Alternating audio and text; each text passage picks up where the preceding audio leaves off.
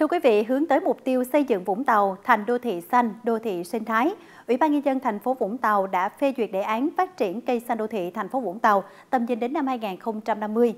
Chiến lược của thành phố là bảo tồn, tôn vinh giá trị khung thiên nhiên và giá trị văn hóa đô thị, gìn giữ hình thái đặc trưng của hệ thống rừng ngập mặn trong quá trình phát triển không gian đô thị gắn với phát triển du lịch sinh thái.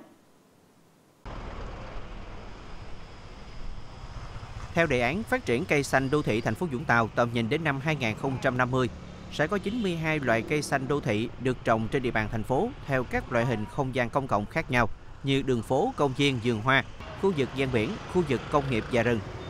Đề án lựa chọn phương án quy hoạch từng phần, giữ lại hệ thống cây xanh hiện trạng, bảo vệ, cải tạo, chăm sóc hệ thống cây xanh trên các tuyến đường đã có, trồng thêm 35 cây xanh vào những đoạn đường còn thưa thớt, mở rộng, điều chỉnh vỉa hè cho phù hợp với quy hoạch giao thông đô thị, thay dần những cây không thích hợp.